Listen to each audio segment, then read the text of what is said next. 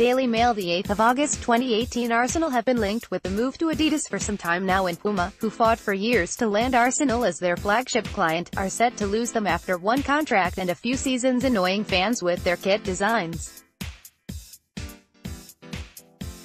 Arsenal signed a five-year deal with Puma worth £150 million in 2014, which was highly lucrative compared to their Premier League counterparts at the time.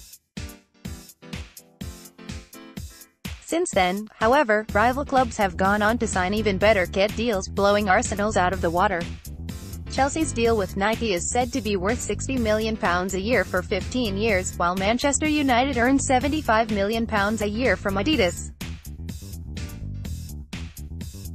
Arsenal have fallen behind their rivals commercially and changing kit suppliers would certainly help them bridge the gap.